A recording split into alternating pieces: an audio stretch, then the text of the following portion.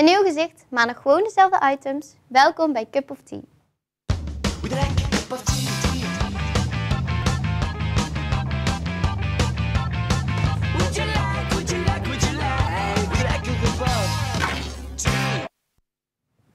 Leuk dat je kijkt naar weer een nieuwe aflevering van Cup of Tea. Zoals ik net al zei, een nieuw gezicht. Of ja, nieuw. Sommigen zullen mij herkennen van Versus. Mijn naam is Svenje en vanaf vandaag ben ik de presentatrice van Cup of Tea. En ik neem het stokje over van Suzanne. Gelukkig verandert er verder niks aan het programma. Deze uitzending komt er een spannende battle in Versus. Brengt Zoek het uit een bezoekje aan Stichting Haarwensen. En hebben we een geheel nieuw item, namelijk Tilly Dean. En daar gaan we ook meteen mee verder.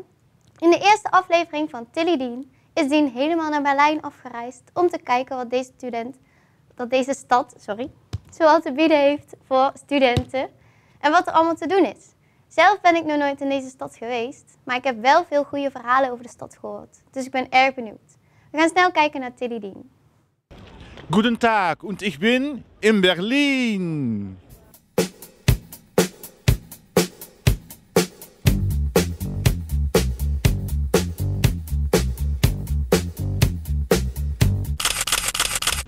En voor de allereerste aflevering van Tilledien zijn we in Berlijn. En nu denken waarschijnlijk, goh, waarom Berlijn? Ja, Berlijn is een van de allergrootste studentensteden in heel Europa. En ja, Tilburg is natuurlijk ook een grote studentenstad. Dus daarom ben ik speciaal voor jou naar Berlijn gegaan om te kijken wat deze stad wel allemaal nu te bieden heeft voor de student.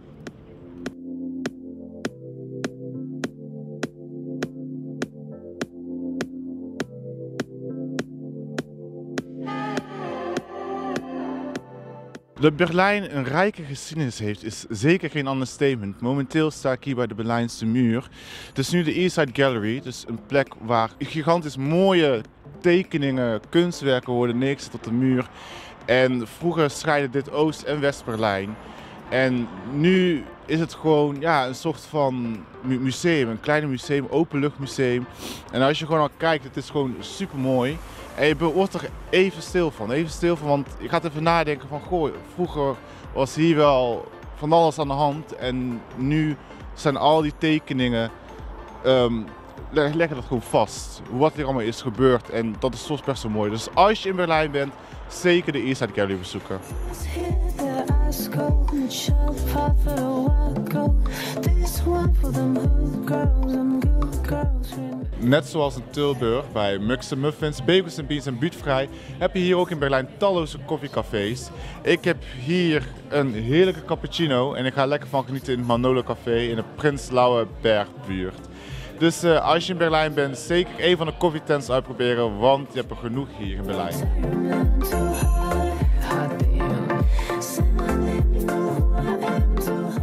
Het openbaar vervoer hier in Berlijn wordt erg veel gebruikt. Ehm, zo heb je de U-baan, de S-baan, eh, eh, de bu- bus heb je ook nog, van alles. Je komt zeker wel op de locatie waar je moet zijn. En ik zit zelf nu in de U-baan. Je hoort het geluid, het gaat heel erg snel, maar je komt ook heel snel op je, ehm, ja, op je bestemming. En daarnaast is het ook heel erg goedkoop. Dus als je denkt van nou, ik wil het openbaar vervoer gebruiken, zeker de U-baan, S-baan of de bus gebruiken, dan kom je heus wel. En dan komt allemaal goed. Ik ben momenteel op de Potsdamerplatz. De Potsdamerplatz is een erg belangrijke plek hier in Berlijn. Want namelijk staan hier de restanten van de Berlijnse muur. En momenteel sta ik eigenlijk nog in het oude West-Berlijn. Maar als ik hierover spring, ben ik in Oost-Berlijn. En dat zie je ook natuurlijk meteen aan de gebouwen. De gebouwen in Oost-Berlijn zien er nog wel best wel oud uit. En de gebouwen in West-Berlijn zijn dan wel een heel stuk nieuwer. Daarnaast heb je hier ook heel veel mogelijkheden om lekker te winkelen.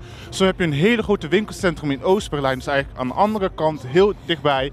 En in West-Berlijn heb je ook genoeg andere restaurantjes om te eten. En dat is natuurlijk niet het enigste wat je hier hebt. Hier heb je ook das Filmhaus. En das Filmhaus, ja, dat is een heel erg geweldig museum over de geschiedenis van Berlijn. Nou, eigenlijk van Duitsland op het gebied van film.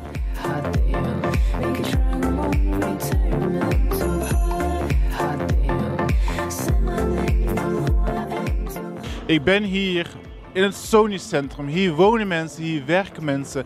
En het is echt gewoon een topstukje architectuur. Achter mij heb je das Filmhaus, wat de geschiedenis is van ja, de Duitse ehm, film. En naast heb je ook nog een heel erg groot bioscoopcentrum met ja, genoeg films, restaurants, van alles is hier te doen. En ja, als je gewoon om je heen kijkt, het is gewoon echt geweldig. En dit bewijst echt dat Berlijn wel meesters zijn op het gebied van creativiteit en innovativiteit. Er moet natuurlijk ook gegeten worden. En waar kan het dan beter bij dit 60s restaurantje aan de Große Hamburgerstraße?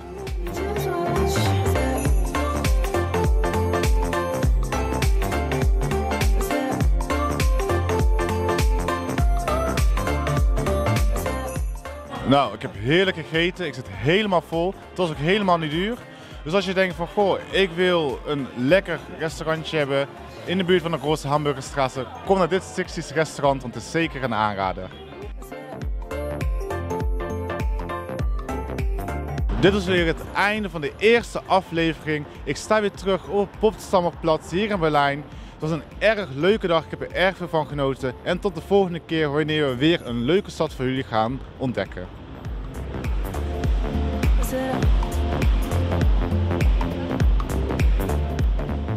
Ja, dankjewel Dien. We hebben weer een hele hoop geleerd over Berlijn. Dus als je er binnenkort heen gaat, weet je waar je zeker even een kijkje moet gaan nemen. Misschien heb je er wel eens over gehoord. Je haar doneren, zodat er een pruik van gemaakt kan worden voor mensen waarvan het niet vanzelfsprekend is dat ze een mooie bos haar hebben. Iris is voor ons gaan uitzoeken hoe dat een pruik gemaakt wordt bij Stichting Haarwensen. Ik weet het niet, ik weet het niet, ik weet het niet. Ik weet het niet, ik weet het niet,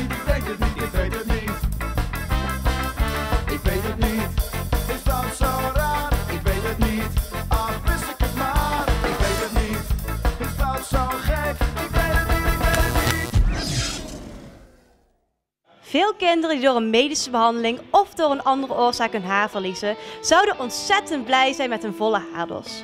Stichting Haarwensen is er voor deze kinderen en door haardonatie kunnen zij prachtige pruiken maken. Daarom ga ik vandaag uitzoeken wat houdt haardonatie nou in en hoe gaat dit proces in- zijn werk. Ik start bij de kapper waar Joep op mij zit te wachten, want hij gaat vandaag zijn haar doneren. Nou, Joep, nu is je haar nog lang en waarom wil je je haar eigenlijk gaan doneren? En nou, ik heb zelf eigenlijk al een beetje, een klein beetje hekel aan die mensen die allemaal aan de deur komen, moet ik ook zeggen. En ja, ik weet ook niet waar het geld er naartoe gaat. Dus vandaar dat ik eigenlijk gewoon zelf met het idee kwam dat mijn haar eigenlijk toch wel iets langer was dan mijn kort dan mijn lang. Dat ik van, laat ik het gewoon een keer helemaal lang groeien. Heeft tenminste nog iemand goed aan. Ja? Au!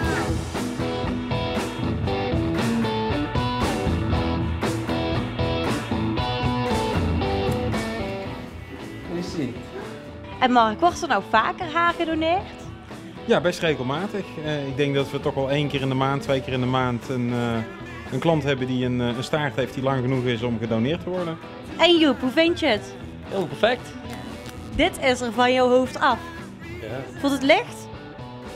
Eerlijk gezegd wel, ja, inderdaad. Ik voel dat mijn wind nou langs mijn hoofd afgaan, dat ben ik ook niet gewend. Ik ben er blij mee dat ik het gedaan heb, zeker geen spijt.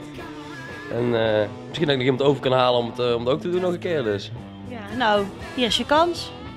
Nou mensen, ik wil zeggen... Ik weet eigenlijk nog niet wat ik wilde zeggen. Zo, hier is de envelop. Wil je haar er zelf in doen? Ik ga hem erin doen. Ik heb een dik pakken, hè? Ja. Kijk aan. Hoppakee. Doei jongen. Nou, Patricia heeft onze brief ontvangen. Het haar van Joep zit hierin. Patricia die werkt bij eh, Stichting Haarwensen. En wat doet Stichting Haarwensen nou precies?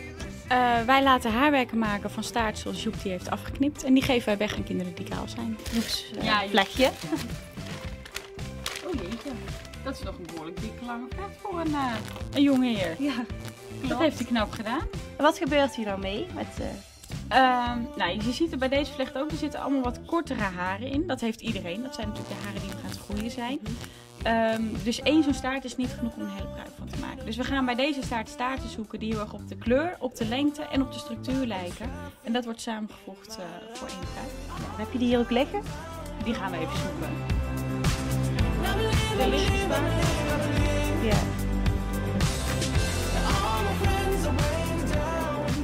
Het is echt een heel gepuzzel. Want zoals je ziet, dit zijn allemaal een beetje bruin. Sommige wat lichter bruin, sommige wat donkerder bruin. Ja, dit is weer heel anders dan Ja. dit. Want hoeveel vlechtjes heb je dan normaal nodig voor één eh, pruik? Meestal sturen er wel zes ongeveer op.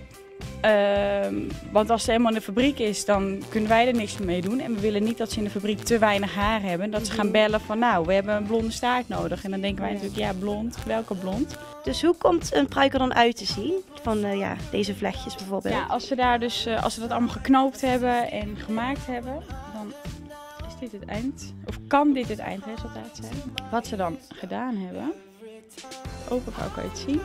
Ze alle haren stuk voor stuk in het geknipt. Dit haar is ook niet geknipt nog. Het lijkt wel een beetje of er een model in zit, maar dat pas als een kindje de pruik heeft uitgekozen. Dus van, nou, dit is qua kleur en qua maat en qua eh, lengte helemaal mijn ding. Dan wordt hij helemaal geknipt. En waarom is het nu zo belangrijk dat mensen haar doneren? Om de kinderen blij te kunnen maken die eh, zelf geen haar meer hebben.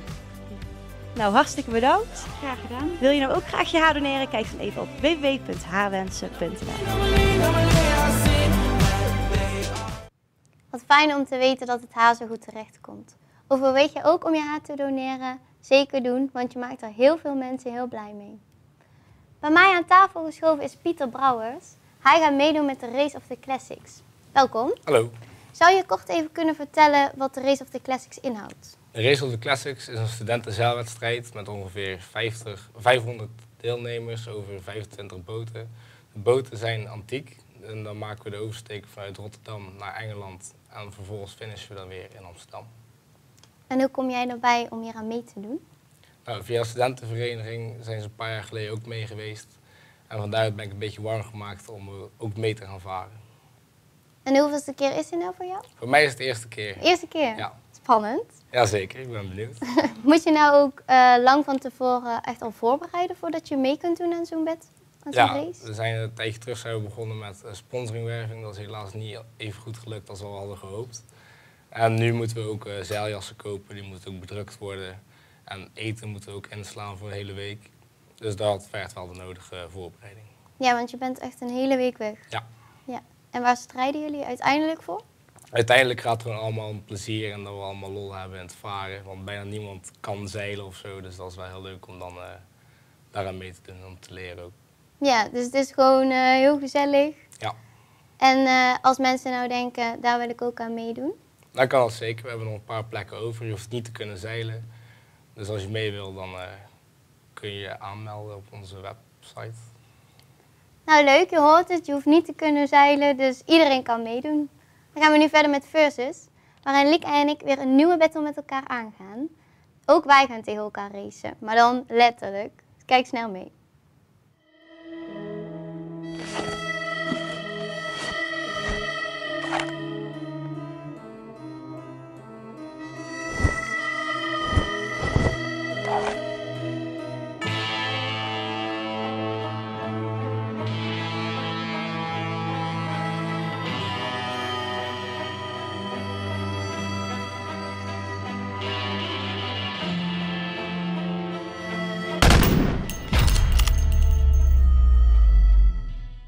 Vandaag in Versus gaan we twee verschillende activiteiten doen, waarin we in twee totaal verschillende jasjes worden gestoken. We zullen gaan zien wie het snelst en wie het sterkst is.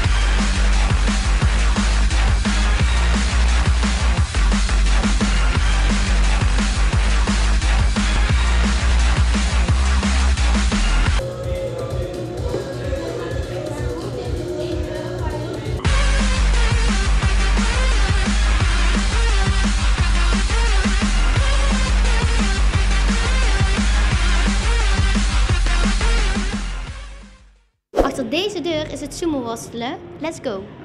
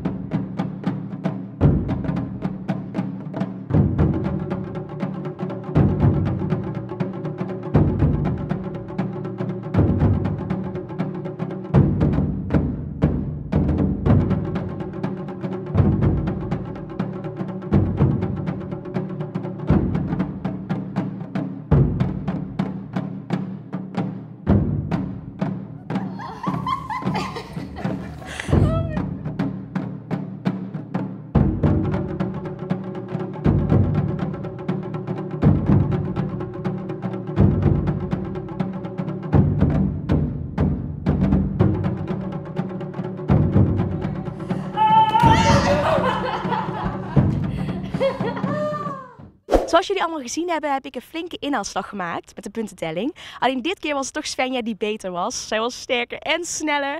In ieder geval hebben we enorm gelachen vandaag. Alleen moeten we ook melden dat dit de ene laatste aflevering is van Versus. Het betekent dat wij nog groots uit gaan pakken met die finale. Dus hopelijk kijken jullie de volgende keer allemaal weer. Het sumo was wel zo leuk om te doen. We hebben echt in een deuk gelegen, zoals je kon zien. Liek en ik liggen toch erg dicht bij elkaar. En dat gaat nog spannend worden de volgende keer. Want dan is namelijk de finale. Het is even tijd voor de break. Waarin we op een wel heel bijzondere manier gaan zien dat liefde geen grenzen kent.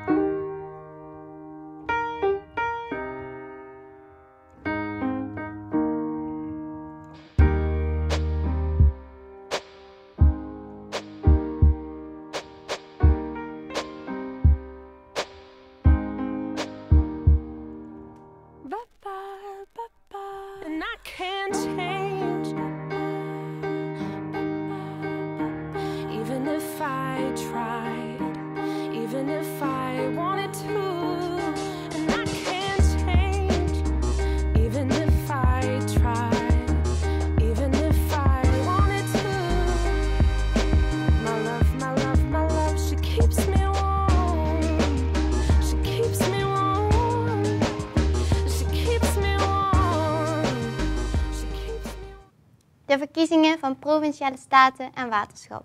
Ik vind dat zo lastig waar ik op moet stemmen dat ik bijna de neiging heb om het gewoon niet te doen. Maar ja, het voelt toch een beetje als mijn plicht. We gaan snel kijken naar Merel die bij het statendebat aanwezig is.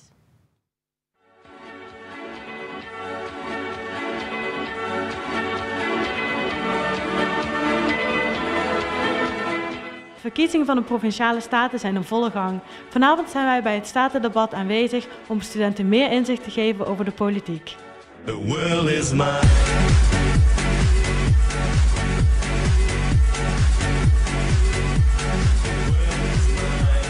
Uit. Eh, welkom in ieder, in ieder geval iedereen.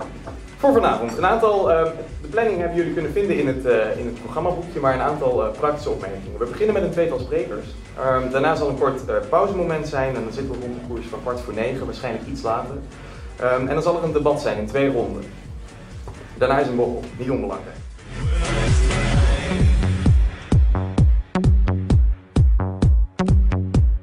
Waarom is het voor studenten zo belangrijk om te gaan stemmen? Het is voor iedereen belangrijk voor, om te gaan stemmen, want ook de provincies bepalen eh, een deel van je leven. Eh, regionaal, economisch, vervoer. Voor studenten geldt dat nog wel meer, want je bent jong, je hebt nog lang te leven, dus de politiek gaat nog heel lang over je beslissen. Beslis mee.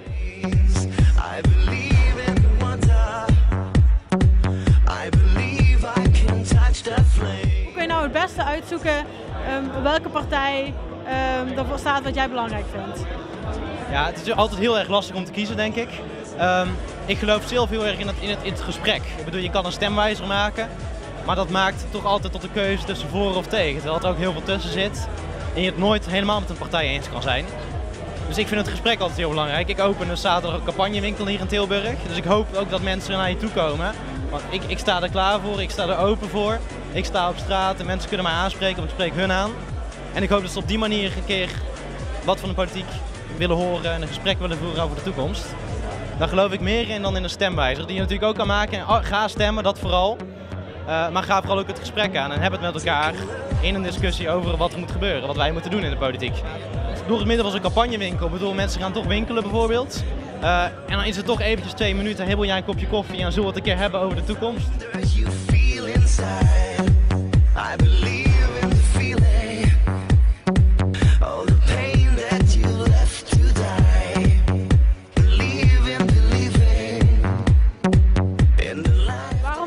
Belangrijk om te gaan stemmen? om de democratie in leven te houden. Het is eigenlijk simpel wat de commissaris van de Koningin ook zei. Als wij willen dat Nederland democratie blijft, moet iedereen gewoon gaan stemmen, ook voor de provincie. Ik denk dat het je democratische plicht is om te gaan stemmen. Je hebt stemrecht, zeker na je achtigste. En die moet je dan ook gaan gebruiken. Zeker de Provinciale Staten kiezen natuurlijk ook de Eerste Kamer. En zeker met de afgelopen ontwikkelingen, dat de Eerste Kamer toch eh, wetsvoorstellen tegen heeft gehouden, zie je ook in dat eh, opzicht hoe belangrijk de Provinciale Staten zijn. Het debat was heel interessant. Politiek is ook zeker iets voor studenten. En met die gedachte ga ik lekker naar huis.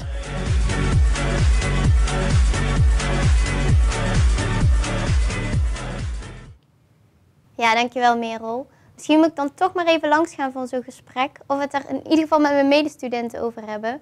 Want als ik communicatie studeer, dan moet ik het toch ergens toepassen. Dan ga ik nu door met de uitagenda.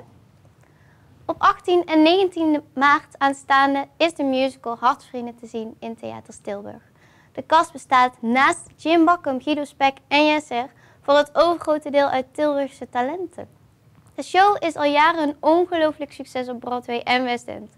Kaarten kosten 19,50 en zijn online te koop. Op zaterdag 21 maart keert Loos terug naar 013. De populaire dansavond zorgde tot 2011 jarenlang voor een volledig uitverkocht 013 op iedere eerste zaterdag van de maand. Tickets kosten slechts 5 euro en zijn te verkrijgen op 013.nl. En tot slot, op 31 maart komen bekende en nog onbekende singer-songwriters langs bij de Singer-Songwritersavond in het Midi-theater. Kaarten kosten maar 5 euro, dus ik zou zeggen geen reden om thuis te blijven. Bij mij aangeschoven is Bjorn van der Doelen. Hoi. Hi. Hij is voetballer geweest bij PSV, maar hij gaat vandaag voor ons zingen. Vanwaar deze carrière switch? Eh, nou, ik was wel klaar met voetballen. Met 12 jaar betaald en eh 20 jaar topvoetbal eigenlijk. En ik maakte al muziek, dus toen dacht ik, dan ga ik daar wel meer tijd in douwen. Eens kijken hoe daar, hoe daar gaat zijn. En wat is nu het grootste verschil tussen voetbal en muziek maken? Eh, nou, voor voetbal moet je ook wel ehm, eh, fysiek fit zijn. Dus je kunt voor een wedstrijd moeilijk eh, tot 4, 5 uur doorzakken. Maar bij muziek maakt het eigenlijk niet zo heel veel uit. Dus dat vind ik wel een groot voordeel. Ja. En schrijf je ook je eigen liedjes?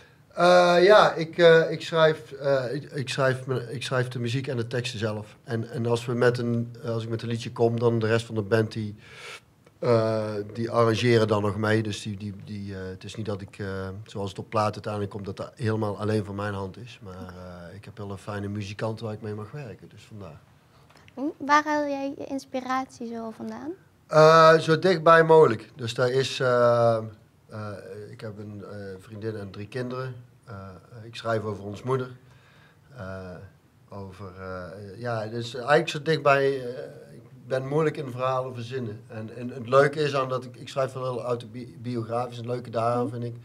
Dat je met die waarheid ook wel een beetje kunt eh, spelen en sjoemelen. En, en dus, dus eh, ja, dus ik, dat vind ik wel leuk. Ja.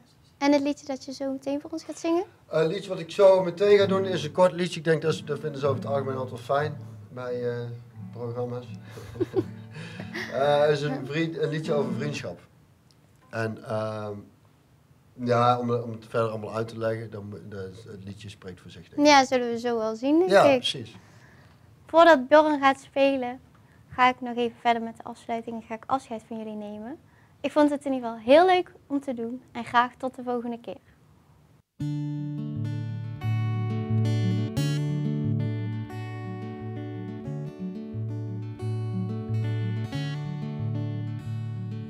Ik ben een vriend verloren. Gelukkig niet aan een vuste vroege dood. Maar aan de tijd die soms een vriendschap doet vervagen. Want tijd het lak, om waar een mens in gelooft. En ik geloofde zo in deze vriendschap. Dus geloven tegen beter weten in. Eeuwig zal duren. En ze denken van een zorgeloos kind.